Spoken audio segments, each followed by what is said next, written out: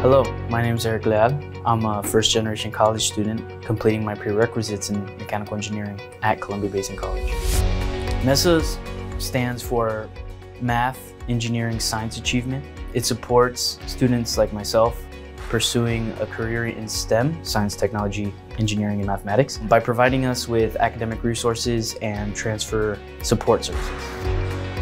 Hi, my name is Carolyn Cantu. I graduated from Columbia Basin College in 2020 where I was part of the MESA program and after obtaining my AA, I went into Washington State University Tri-Cities where I obtained my Bachelor's of Science degree in Biology.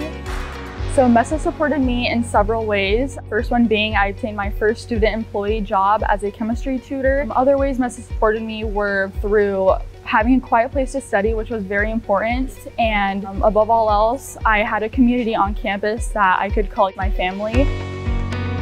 So MESA supports me by providing academic resources like network opportunities, such as university visits, STEM conferences. MESA also provides textbooks that instead of paying full price, I could just borrow from the MESA Center, which helps me not only educationally, but financially. MESA provided several opportunities for me. One of them was attending the WISE conference, which was the Women in Science and Engineering conference. And in doing so, we got to hear firsthand from CEOs of big companies, professors, undergraduate students, and graduate students. And we got to see how they overcame adversity in STEM fields. And so that was really inspiring. Another one was the PNNL Showcase and we got to visit on site and learn about the different research projects that are going on.